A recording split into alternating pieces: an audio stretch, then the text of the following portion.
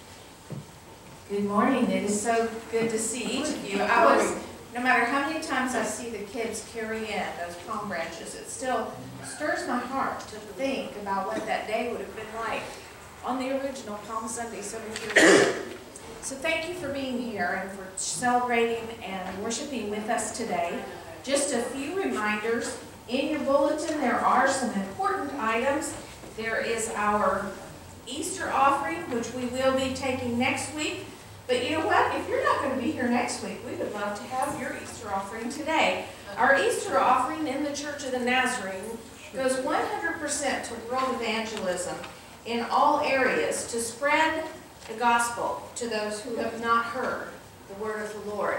We are blessed here in America, mm. but there are also pockets of America that have not heard. And, you know, more and more, we are having missionaries work here in the United States, in our inner cities and areas like that. So it's very important. And then there are some reminders, some little flyers. We hope you will take these and give them out and invite friends and family, and especially the unchurched. Easter is one of the easiest Sundays in the year to invite people to church. It's a common tradition to attend church on Sunday. Please bring your friends and let's just fill this sanctuary. We have all kinds of services coming up. There's Wednesday night service, Monday, Thursday service with communion at seven PM on Thursday evening. On Good Friday, we will have a noon service, which we do quickly so that you can get out, come, get out and go back to work. Not all of you are blessed like me and get off Good Friday. It's one of the interesting things, the New York Stock Exchange has always been closed on Good Friday. And then on Easter Sunday, we have our hillside service at eight thirty, our Easter brunch at nine fifteen, kids Easter egg hunt at nine forty-five, and then our family worship service beginning at ten thirty here in the sanctuary. We hope that you will be a part of that and invite someone. Also, just a few reminders that there are donations needed for Easter eggs and candy for next week. You will please bring those by Wednesday night so that maybe our teens can help stuff those eggs on Wednesday night. They helped do that last year, and that was a great project for them. So we hope you'll get all those donations into the church office or bring them Wednesday evening. Is the lunch provided, a brunch provided, Yes, there is, or do no. bring food? Oh, for, br- oh. for a reminder for brunch next Sunday. Please, everyone bring a, a brunch item to share in the brunch so that we can all enjoy a, a fellowship together. So we'll have the brunch and the Easter egg hunt in place of Sunday school classes for next week. And TNT people, come on up here. Tell them that- We had a group go to Trevecca Nazarene University last weekend, Thursday, Friday, Saturday, Sunday. It's a long trip, but they had a great time, and it's where Nazarenes from all over the southeastern region gather at Trevecca Nazarene University and exhibit their different talents, and it's a wide and varied talent that they, they do. We had a great time. Um, the, the three of these and Tiana and Troy and I went to TNT. Um, Heather and Tiana played flag football. Um, Lexi played volleyball and Charlie played soccer. And Charlie's team came in second place in the region. The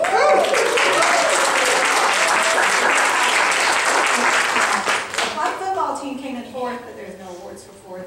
And volleyball, y'all had a great time, didn't you? They- they- man. That was good. So, thank you. All right, good We are job. proud of Thanks our team.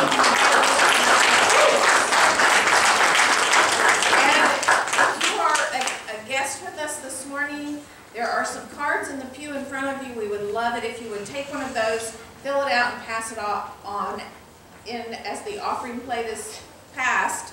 Would you drop that in the offering plate as it is passed by your seat this morning? Sorry about that. I must not have slept well. But at this time, would you stand and greet one another? Thank you.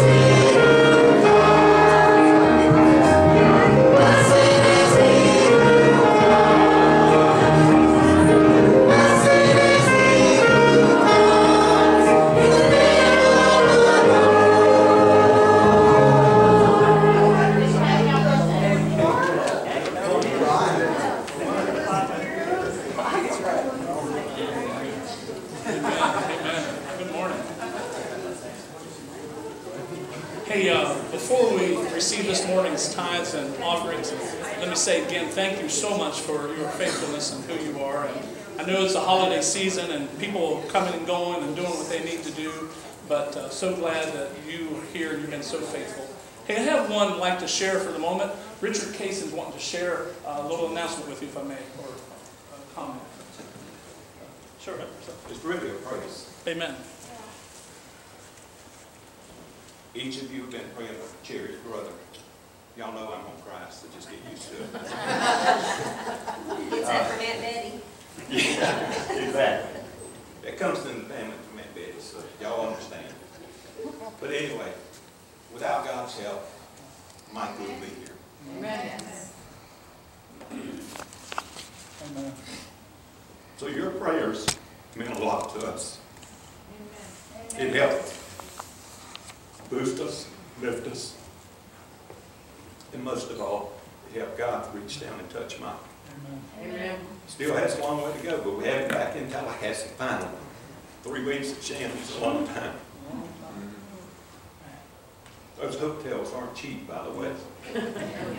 Especially when they have an activity going on and they jump to three to four hundred dollars a night that gets done. But that's, that's nothing, that's just material stuff. Our heart's in the right place. But we just want to say thank you, we love you. And always ask, and we will pray with you. God's faithful. Amen. Praise the Lord. Amen. Yeah, amen. Gentlemen, if you come, we receive this morning's regular tithe and offering. Do you have someone you've been praying for lately? If you don't have anyone to pray for, pray for me. Amen. I'll be your focal. Amen. Amen. Dear Father, we just love you and thank you for this morning and thank you for the privilege of being in your house. And thank you for everyone who is here on this Palm Sunday. Oh, Father, today as we celebrate this time, we're just not only reminded of who you are, but we're reminded of who we are in your sight. And today we are needy people. We are the sheep in your pasture, in your fields, who need a touch, a fresh touch from you today. But may we be reminded always, as we remain faithful to you, oh Lord, you said you would never leave us and you would never forsake us. Lord, the world is telling us how to live our own lives, how to live every day, how to make decisions that please us.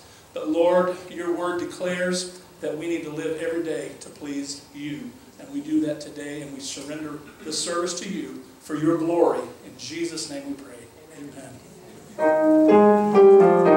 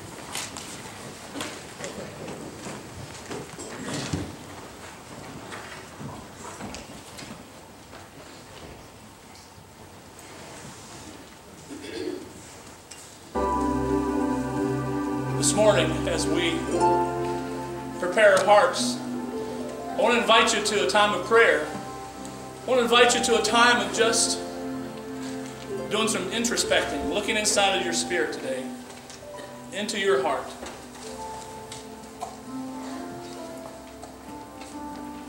What if Jesus would have stayed in heaven and chosen never to come to earth? If the Father had never sent him, what life could possibly have been like? When he was chosen to go and become the lamb, the lamb slain before the foundations of the earth, to know that he was willing to give his life up before the creation of all the stars and the planets, everything in existence, to know that one day he would lay his life down for us. To realize the plan that the Father has had all this time was for you and me. We're so unworthy even just to receive these elements of communion today.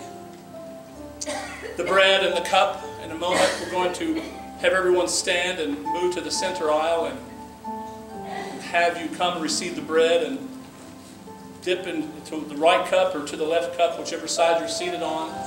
Receive it, dip it, receive it, and partake of it, and be seated and go back into a time of just a prayerful meditation, if you would.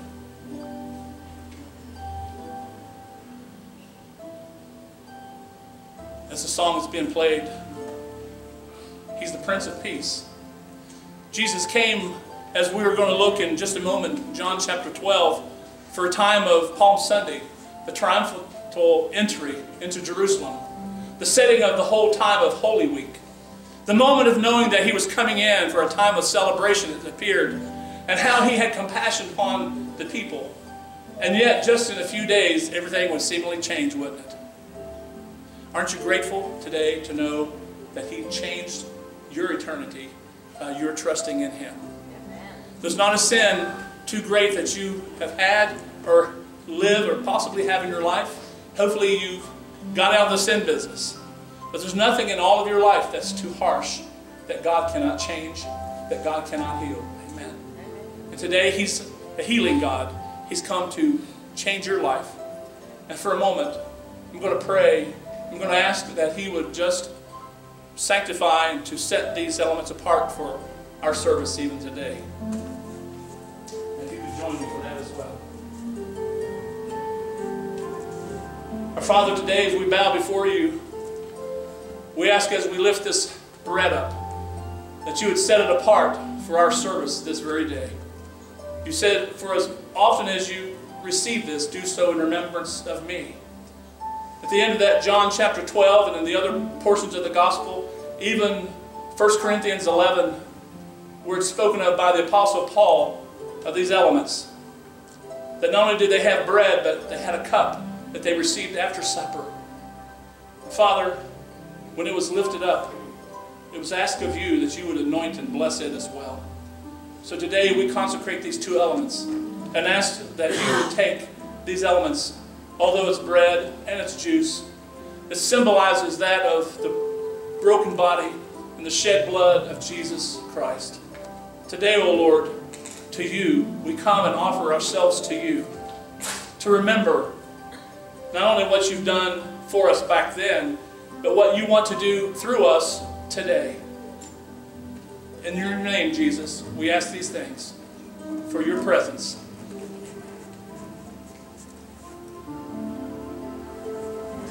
If I could, I have some helpers coming to serve for this morning. And if they could come and stand, and we'll have the bread in the, mo- in the middle. We'll have a cup on each side. Please be careful of the palm branches.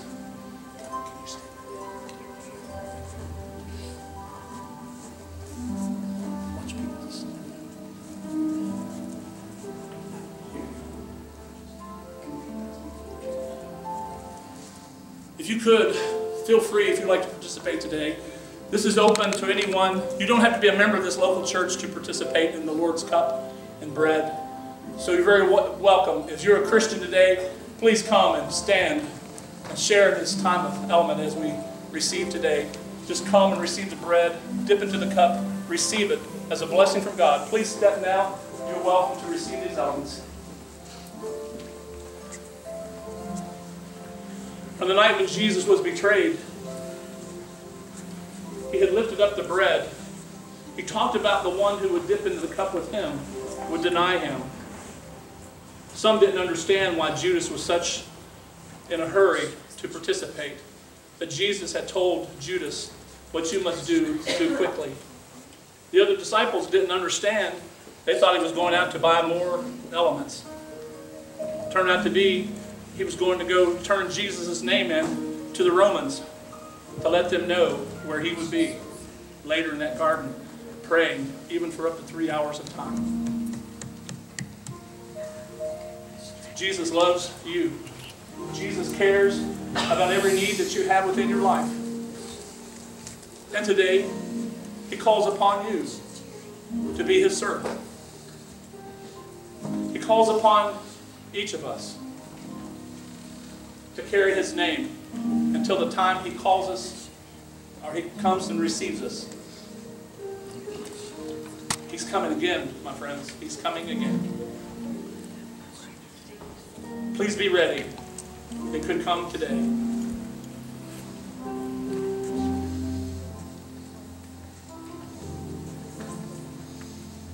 May the Lord bless and keep you. May His Spirit anoint you. Heart love you through and through. May the words of your mouth and the meditations of your heart be acceptable in His Son. For He is the Lord, He is our rock, He is our salvation. Seek first the kingdom of God and His righteousness, and all things will be added unto you.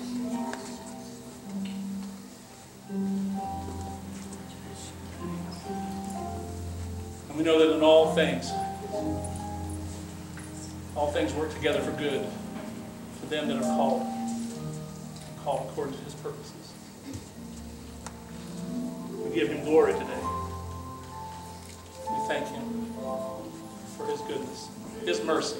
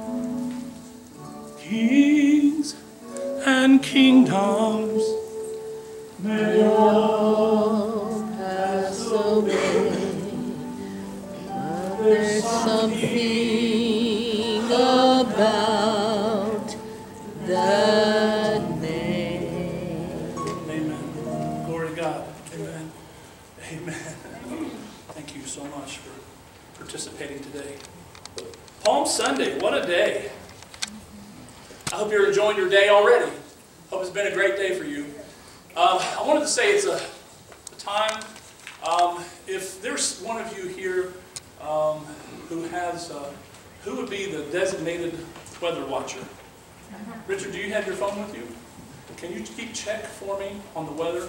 What I alert you for is that supposedly we have potentially threatening weather. I'm not afraid of it. I've actually laid under a tornado working on my dad's car one time um, because I couldn't get the. you know, starters have no intelligence.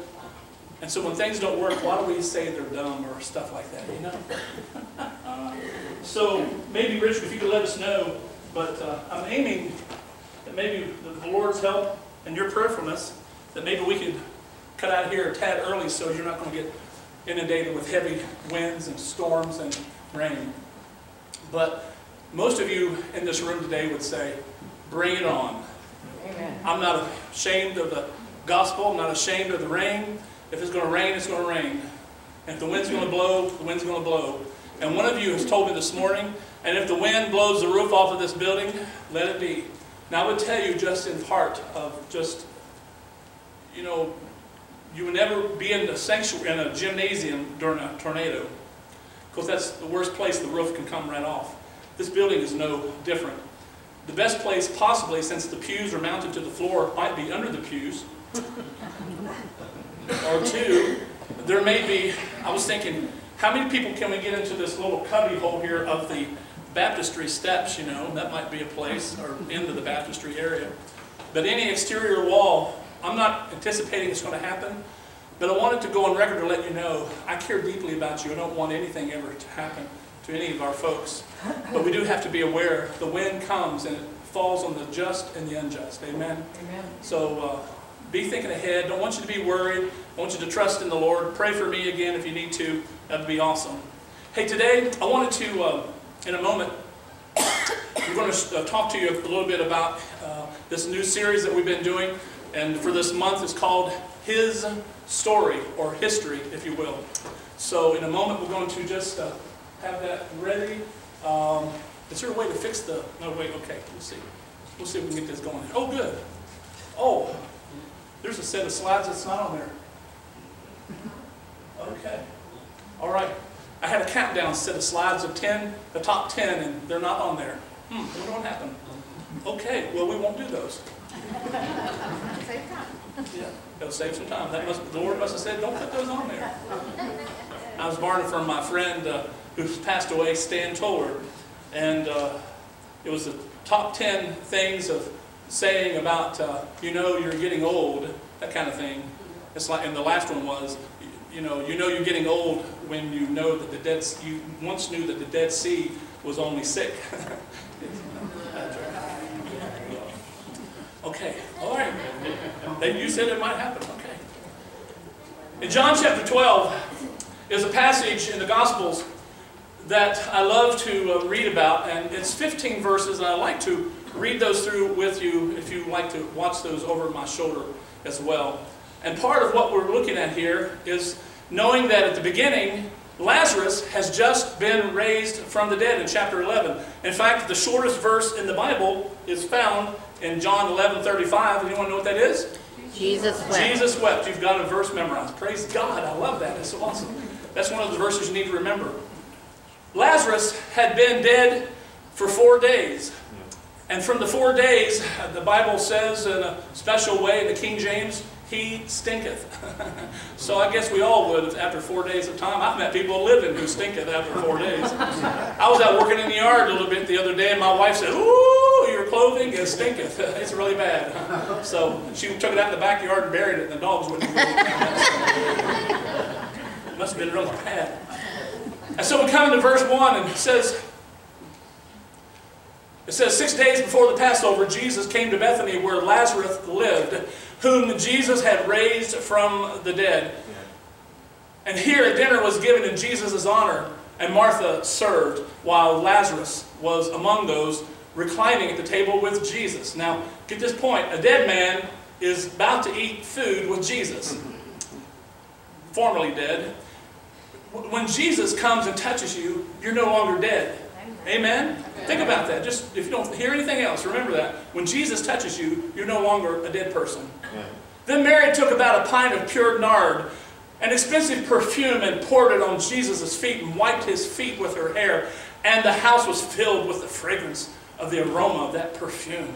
Can't you imagine what it must have been like? Another passage in the gospel said that she actually poured it on his head, but this one says it's on his feet. Good reason. If you're wearing sandals in the dusty areas of uh, Jerusalem in those days, they didn't have boots, they didn't have strings they could pull up. They would wash people's feet and so on. But sometimes people needed, it's a kind of an anointing. But there's a purpose why she anointed his feet. But one of the disciples, Judas Iscariot, who was later to betray him, objected, Why wasn't this perfume sold and the money given to the poor? It was worth a year's wages. Now, Judas didn't say this because he cared about the poor, but because he was a thief and a keeper of the money. He used to help himself to what was put in it. Interesting. That's why we have checks and balances even in the church. When you, when you donate, when your stewardship, that's why one person doesn't take care of all the monies. We have a team of people, even watching what you have given as well. Yeah, I keep having it flip up here. It's It's- not behind you. Oh, okay. Well, that one, we have a screen behind you, so it helps me to look real professional.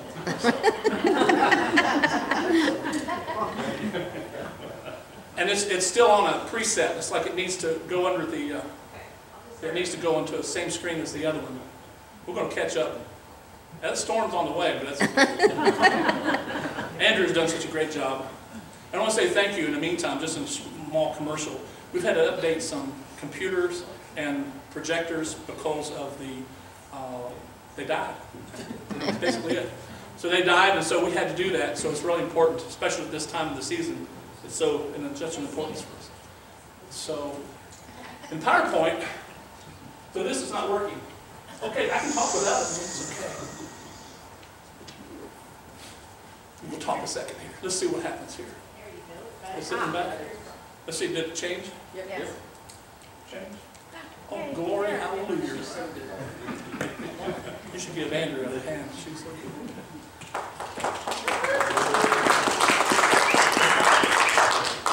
If it's not changing, just say, it's not changing. Okay, we'll think we're in a country church somewhere. It'll be fine. The next day, the great crowd had come for the festival that had uh, Jesus, that why he was on his way to Jerusalem. And they took palm branches and they went out to meet him, shouting, Hosanna! Blessed is he who comes in the name of the Lord. Blessed is the King of Israel. The very word Hosanna means save us, save us now. They were wanting Jesus to come riding in on a colt or horse, a steed, a, a horse of weaponry, of warfare, that his coming in on a horse would show that he was the commanding general to go and uh, the Jewish people would go and squash the Romans. Here Jesus comes in on the colt of a donkey. And he's riding in, as it was said in Zechariah, uh, Zephaniah chapter 9, verse 9. Rejoice, O daughter of Zion. Shout greatly, for your king is coming in, riding on the foal of a donkey. And so he's coming in riding, not as a beast of warfare, but one of peace. The donkey is a symbol of peace.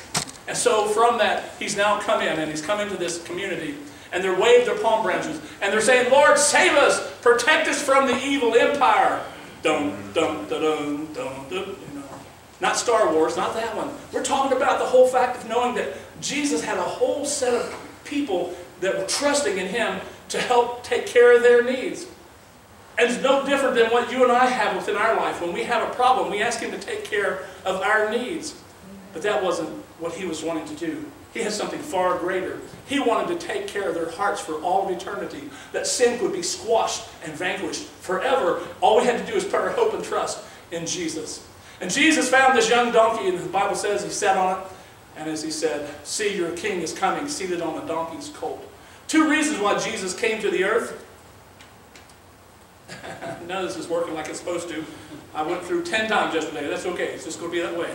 We're going to just, we're going to make it happen here. Two reasons Jesus came to the earth. Number one, for spiritual reasons. The Bible says that when we worship Him, we worship Him in spirit and in truth. And the truth is, until we put our trust in Him, we don't know what truth is all about. Amen? But yet, when we put it in, it comes in by an act of faith, and it affects our spirit. Nothing on the outside of our bodies changes us a lot. Sometimes the physical is all going to die one day, but the spirit's going to live on forever and forever. And the other reason Jesus came was a real simple one. Is that he would be able to live like a human being. Jesus would identify with your needs and my needs of realizing who we truly are. Amazing, isn't it? To know what he was going to do. He would become our Savior. He would become our friend in spirit and in truth. He would come and change the inside of who we are, but he would walk with us and talk with us and tell us we are his own. Amen. There's no enemy that's too big that your Jesus can't take care of. No matter what you're going through, whatever you're facing today, you're going to keep on deciding to do it on your own. He's going to let you do what you think you need to do. But if you need His help, then you need to change a little bit and change the rules of yourself in the fact that you need to put your trust in Him. When you put your trust in Him, He said He would never cast you out. He said He would always be with us. He would never leave us. He would never forsake us. But when we depend on ourselves, we'll have ourselves set up for failure. We keep short changing ourselves. We keep causing our, our own self not being able to stand. And we have to trust Him. And when we put our trust in Him, He's not our Savior, and He will be our friend. But the Bible says, in just a few days later, a week later, something happens. A couple chapters over in chapter 18 of John, it talks about how Jesus has gone through about six trials leading up between these six chapters. And then the 18th chapter, he's gone to the garden. There's some other areas he's been a part of. But now he's standing in front of Pilate. In John chapter 18, it says this, that Pilate asked Jesus a very particular question. So what he asked him is this. He says, So, are you the king or not?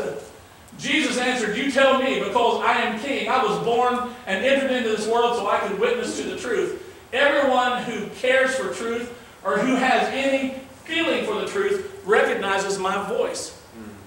When you and I put our trust in Jesus, we'll start hearing His voice. His Spirit will speak to you, my friends. Sometimes you go, Well, how do I know it's His voice? You listen clearly enough. If you walk with Him and you've talked with Him, you'll start hearing His voice. Some of you know what I'm talking about. You hear the voice of the Holy Spirit who speaks to your spirit. And there are times where you feel like you're starting about to do something that's incorrect or something wrong, and it's like something inside of you pulls back on the brakes. And you go, maybe I don't need to do that. Now, some of us, we just plow ahead and do it anyway. Because we're going to take care of whatever needs we have in our life, and we're not going to listen to some voice. Nobody's going to tell me what to do, we say. and then all of a sudden there's an accident, something happens. And then the Lord gets our attention. Pilate was simply asking him, So are you a king or not? So who do you say that you are? And then Jesus goes in and witnesses even to Pilate. In the rest of the story, Pilate's wife even speaks to her husband and says, Don't hurt this man. He hasn't done anything wrong. I've seen him in a dream. And you should let him go. And Pilate, under the peer pressure of the society of people, he didn't just make a decision. He simply called out to say, What do you think I should do? And they said, Let him go, let him go. And others said, Crucify him. Well, we'll talk about that this coming week. Let's look at this next one. Because Jesus always remembered who he was. Jesus remembered, even growing up as a boy, that one time even his stepfather, Joseph, had heard the angel tell him and said, You will give him the name Jesus, for he will save his people from their sin. There's something inside of all of us we need to hear from time to time. We need to know that God is for us. And if God be for us, the Bible says, who can be against us? Amen. And if you have something inside of you always, when you're going up through some of the most difficult times of your life, when you feel like there's some moment that you don't know how to handle, when you're coming up against an enemy who's come against you, if there's some temptation that is so overwhelming that you feel like, I must give into it, or if you have a person at work or at school, someone who simply keeps nagging and digging at you of what to do, I believe you and I need, we need a promise. We need a thumb sketch. We need something that calls us back to who we are and why we're who we are. For me, I grew up hearing Romans 8, 28. And we know that all things work together for good to them that love God and called according to His purposes. And there's a lot of other verses I love to share with you, but for me, as a young Christian, that's what I stuck with, or what stuck with me as a young Christian. And so when the times came, and it was more difficult for me, and I didn't understand what to do. I'd always go back and say, all things are going to work together for good. It's all going to work out because hope has come. Here comes hope. Jesus is the hope. Jesus will be there. And I had the confidence within my own heart that Jesus was going to work it all out. I don't know what's going to happen tomorrow. I don't know what's going to happen next week. I don't know what's going to happen in a few moments. But I'm confident today, aren't you, that Jesus is going to work it all out. And you need a verse like that. So maybe if it's not this one, because he's not going to use you to save your people from their sins, however, or their sins, however, there's a verse somewhere in the Bible you need to have. And I believe all Christians, when you've given your heart to Christ, when you've you've confessed your sins, you've repented of your sins, and you put your trust in Jesus Christ, there's some verse inside your heart that just keeps ringing out and you keep hearing it. More than John 3.16, but maybe that's the one that's working for you. Whatever it is, there's a, there's a verse, a life verse that's just for you. If you don't know what it is, talk to me. I'll be glad to help you and visit with you to try to seek that out. So when you do this, remember that He wants to help you to remember one thing. You need to remember who called you. In John 6.44 it says that you and I cannot come to Christ unless the Spirit of God calls us. He's calling you today. He calls some into vocational ministry called the pastorate or evangelism or missionary service, whatever it may be. He calls others of us to be those who ride on the back of sanitation trucks, and some will work in state offices. Some work in yards, and they cultivate the yards. Uh, there are some who work for the military. Whatever it may be, He's called you to do some specific work. And the Bible also declares that when you do that work, do it as unto the Lord. If you don't like the employer and you feel like they're being unfair, just somehow inside of your spirit just say, I am going to work for this person. I'm going to have the right attitude as if I'm working for Jesus. Yeah. And start loving them, start caring for them, praying for them, not praying against them, not having a bad attitude, never cursing them, never setting them up for failure, never trying to embarrass them, but doing everything to keep them from embarrassment, to make them look good. Because at the right time, the Lord, the Bible says, when you have a need that's so deep and so hard on your life and you don't know what else to do, you can always do a Matthew chapter 6, verse 6. You can enter into the closet. You can seek Him and you can pray openly. And it says, the Father who sees you praying in secret will reward you openly. At the right time, He's going to be there for you and He's going to answer whatever needs you have and He'll make you look good and it'll be for the glory of God. Amen. Remember who called you. I have pastors who I work with at times, and when I talk with them about this, I've had some who say, What do I need to do? I said, There's a time that in your life, not only in your realm of delegation, what you need to do for their ministry, what they need to do, but you need to remember, instead of writing that resignation letter on Monday morning, instead of calling up those board members and chewing somebody out or having some bad attitude, not that pastors would ever have that, I've never had a wrong attitude in my life. I'm teasing, Lord. I'm just teasing, okay? I'm just teasing. But I sure don't have it now, and I don't have it among you. But there are pastor friends out there and evangelists out there. There are people out there doing the work of God who truly love Him with all their heart, soul, mind, and strength. And they love their neighbor as themselves. But the problem is, they get so much heat and they get so much negativity because the people who are given the negativity are not sanctified Christians. They're carnal Christians. And carnality is a disease that eats away at a person's spirit. Because it makes you look good and makes everybody else stink and have a bad day. It's like the man who was asleep one day and his two little rambunctious boys who came and spread this thin gel of Limburger cheese across his mustache. Man got up, and you know the story how it goes. He got up and he said, Man, this room stinks. He started getting ready for work, and he never took a shower for whatever reason, so he got dressed and he went and got in his car. And he said, Man, this car stinks. So he rolls the window down, he drives a little bit further to work. He says, Oh, the air outside stinks. What in the world is that? He said, This whole place stinks. When in fact, sometimes the stink is right under the nose of your face. If you can look in the mirror and see it, it's right in front of you. We have to be careful, don't we, of the attitudes of who we are, of who we think we are. We're no greater than God, but God is trying to shape us to be like Him and have the same kind of spirit. Amen. And I tell these minister people, hey, remember who called you when it's getting tough. If grandma's called you, that's as far as it'll go. If mom or dad's called you, that's all you get. It'll sound good for a period of time, but when the Lord God Almighty has called you, it'll stick with you through the rest of eternity. So let God lead you. Oh, don't forget who has called you, friend. We cannot stop living in our human experience, but with the Holy Spirit of God, we are given His divine nature, His Spirit. When we know inside of us that He is in us, we are nothing but victorious all the way. So how do we apply this? First thing is, don't let your problems get you down. What are you going through today that's so difficult? Here, Jesus, he has no problems. He's riding into Jerusalem. Everything's been great. People have been anticipating him. He's now about 33 years of age. For three years of time, he's had this earthly ministry in a very special way. And he's had these disciples who's walked with him and been with him. Now they're riding in, he's coming into Jerusalem. People have impacted the streets, literally waving palm branches. We've heard of the one who's coming. He's one called to Christ. He's Messiah. We've been waiting for him. He's here now. He's right here in front of us. Oh, they just wanted to touch the hem of his garment.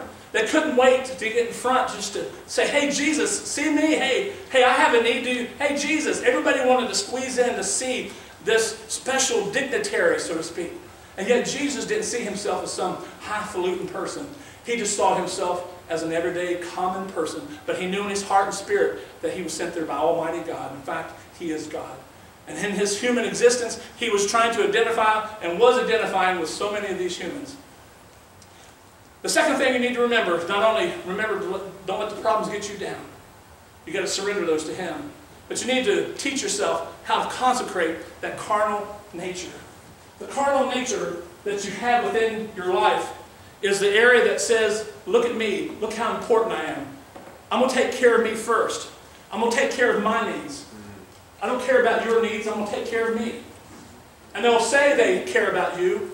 It's kind of like when Judas said, why did you use this on him? We could have, we could have used that money. It could have fed so many people. He was showing a realm of carnality. He acted like, to make it sound salvific, he wanted to make it sound like he really cared about the people. But when you're carnal, you can't hide that. There's a time I had this attitude in our young marriage. And uh, I don't know where I was at spiritually at that time. I can't recall at this moment. But I remember Nita's parents had a distinctive tone about who they were. And her dad had a, this thing. He, well, I'll just leave it at that. He was, he was awesome. I love their parents. I love my parents. But my parents had a distinctive attitude as well, and so did my father. So there were times where I, in my young married times, I said, okay, George. so her response to me says, well, at least I know who I am, Ray.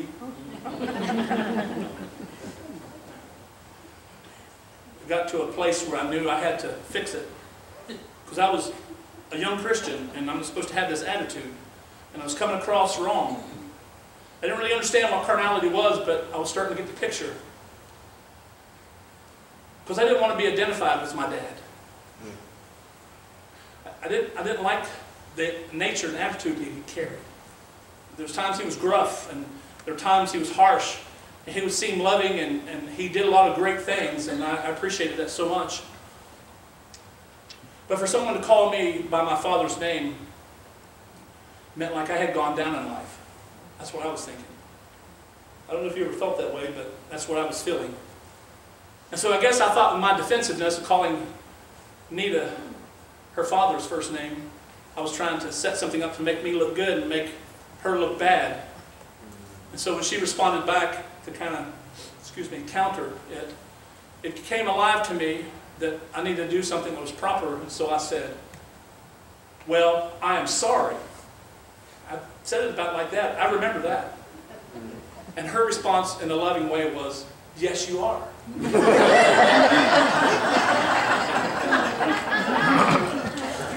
That's a true story.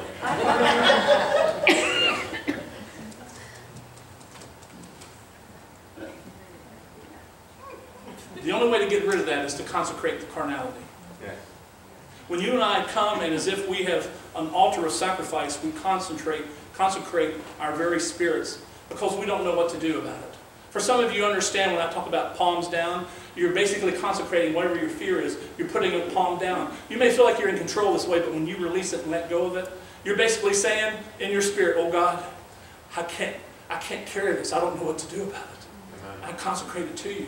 I could consecrate myself to you. I ask, oh Lord, that you just take me as all of me, who I am.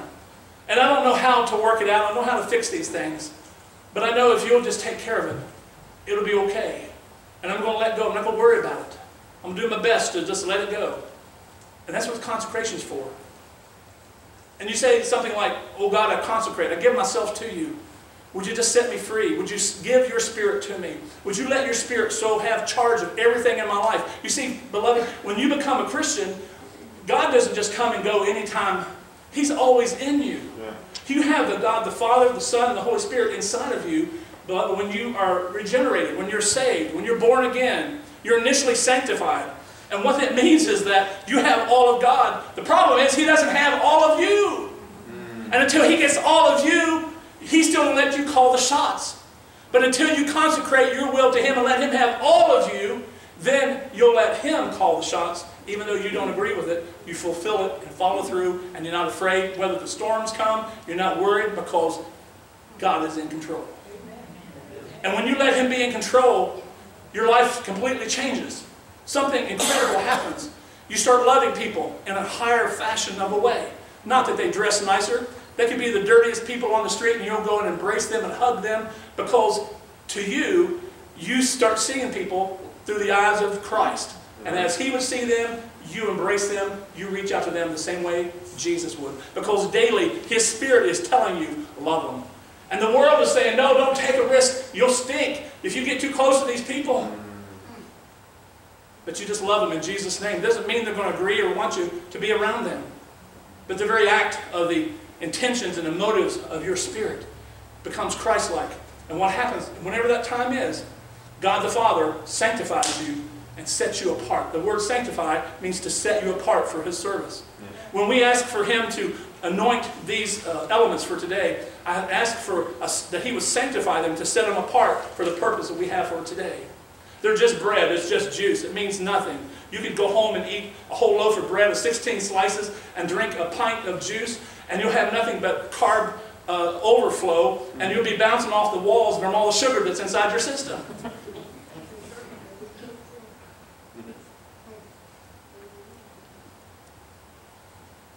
Would you let Him sanctify you?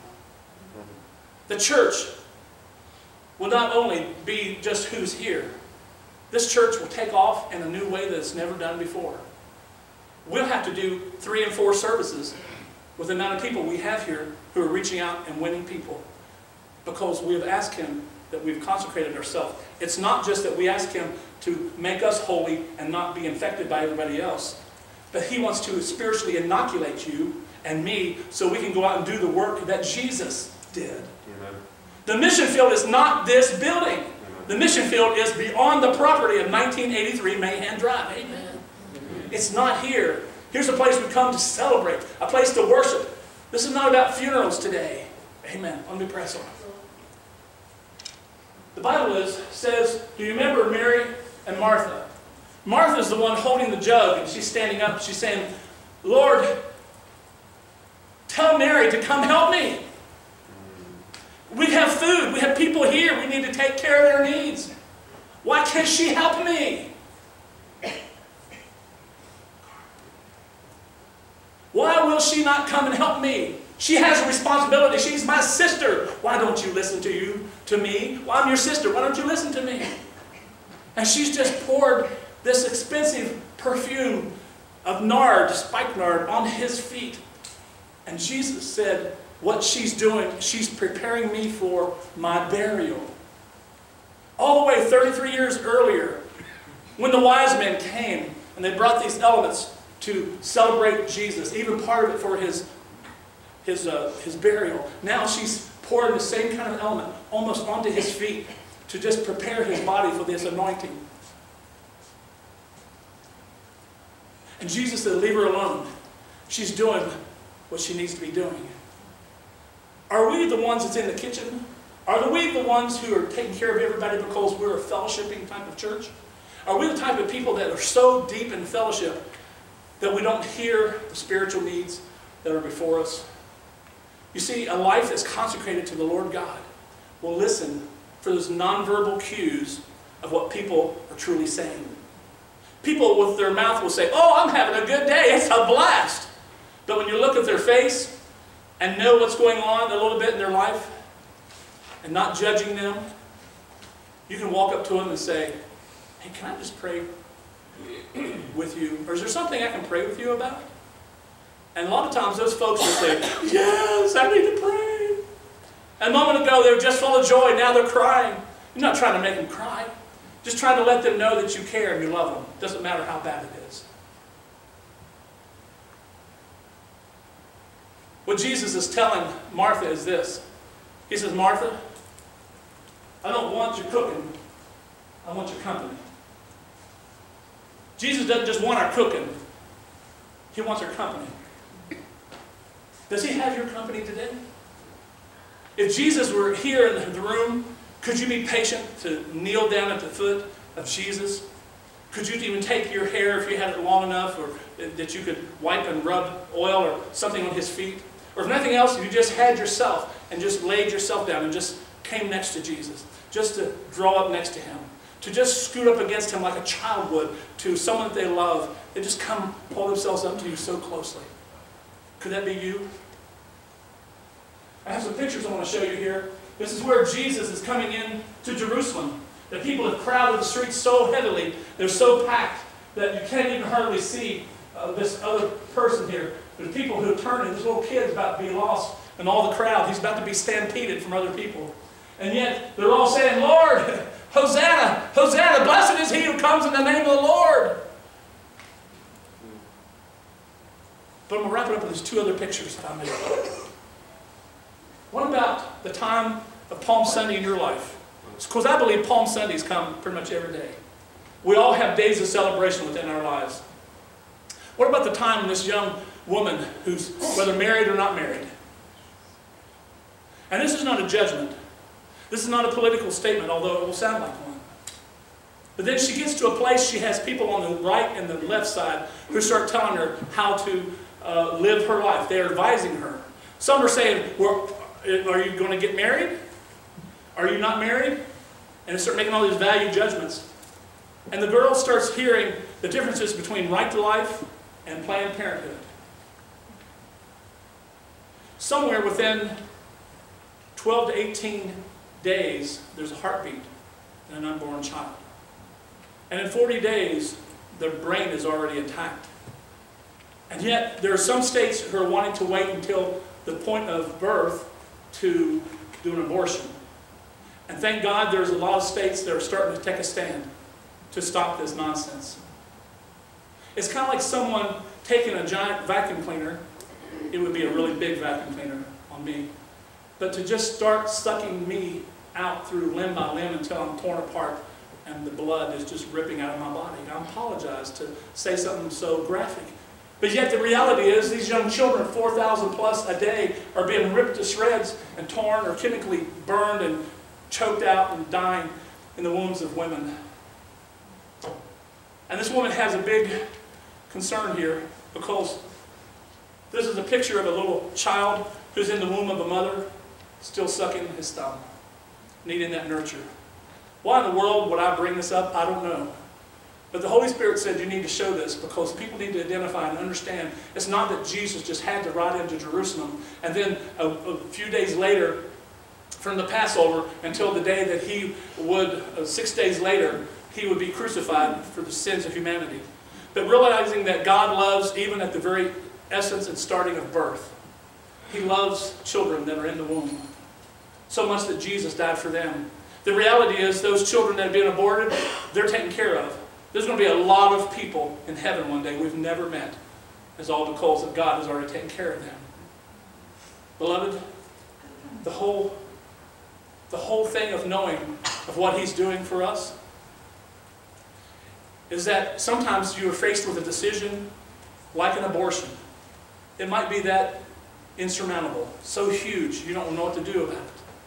Something so big that you're willing to give up your Christian walk to give in so that you won't be punished or pained. I'm here to tell you today, don't surrender to that. Don't give in to any temptation that's so harsh. Don't give in to any sin that will destroy you for the rest of your life. God loves you with an everlasting love, an undying love. If Jesus could come back and die for us again, if that would make a difference, He would do that. But He doesn't need to. Amen? He doesn't need to. And today, as you go, be reminded of this. There are countless thousands of people that you and I will rub elbows with and bump around through stores and gas station lines, through school, through work, different places in our own families, who are going through these big decisions. These huge decisions that sometimes they don't know the truth. Since I've shown you the pictures, I'll tell you this, one, one area. There's a movie out called Unplugged. You'll not be able to deal with the first 10 minutes of it eventually. Because it'll show you something that you don't want to see. And we as Christians will become like the ostriches, spiritual ostriches. We'll want to put our heads in the ground and act like nothing's ever going on when the reality of life is right in front of us. And I ask you today, maybe there's something that's so big in your life that you need to surrender to the Lord. Maybe it's going to go see the movie Unplugged. It probably won't be out much longer. Unplanned. I mean, Unplanned, I'm sorry, not Unplugged. Unplanned. It's called Unplanned, thank you. Go see it if you can. It'll change your life, I believe. It'll help you to have more compassion towards other people.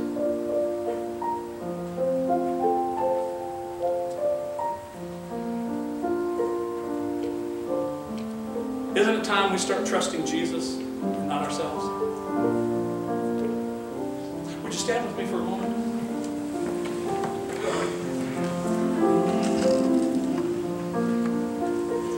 They're playing a song, Come Just As You Are. I don't know what's on your heart, or doesn't matter who you are, how old you are, how long you've been a Christian, or if you're you're here today and never asked Jesus Christ to come into your heart, or if you're living in an act of sin right now and you need to repent of that, I implore you to come and pray. Come kneel at these altars, or these watch these uh, palm branches. Come and kneel, or come sit on the front row. I love to pray with you. I really would. Because until you have Jesus Christ reigning in your life, friends, one day you'll be lost forever. That's the truth. And Jesus said He doesn't want anyone to perish, but all to come to everlasting life. That's you. Do you have the life that He's died for for you? Or you're you just living half the way what you think you need? While they're playing, I invite you to come. If you're a Christian who's been here for some time and you feel like you need to have this sanctified heart and you're willing to consecrate all that you have, lay it on the altar, not hide back anything, surrender it to the Lord God, He'll receive it and take it even this day. Is that you, beloved? He wants to receive it. He wants to receive you today. Come just as